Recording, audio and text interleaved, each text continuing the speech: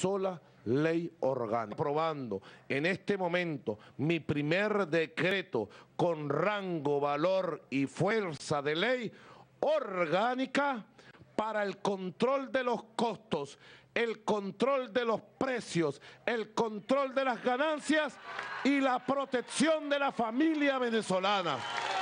Primera ley del habilitante, aquí está.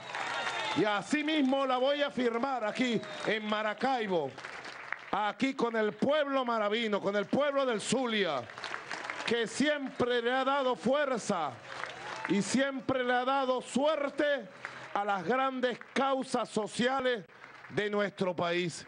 Aquí está. Creía la burguesía que yo estaba jugando. Sigan creyendo, no estamos jugando. Vamos para adelante en la protección de quienes trabajan. Aquí está. Voy a firmar la primera ley del habilitante. Ley orgánica para la protección del pueblo y sus derechos económicos. Aquí está.